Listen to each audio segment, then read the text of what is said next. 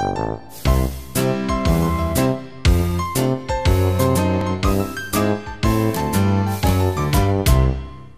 teraz dzieci, Aleksander Fredro, Paweł i Gaweł.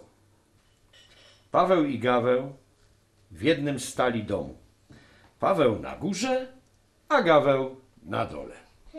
Paweł spokojny, nie wadził nikomu. Gaweł najdziksze wyprawiał swawole.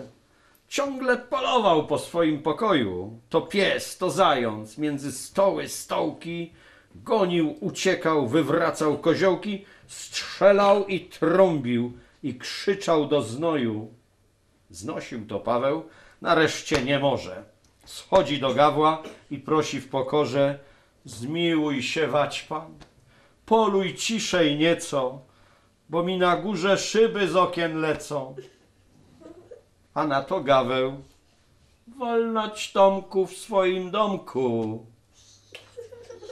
Cóż było robić? Paweł ani pisnął. Wrócił do siebie i czapkę nacisnął.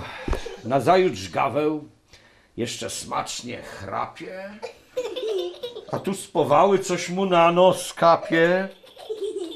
Zerwał się z łóżka i pędzi na górę. Stuk, puk. Zamknięto. Spogląda przez dziurę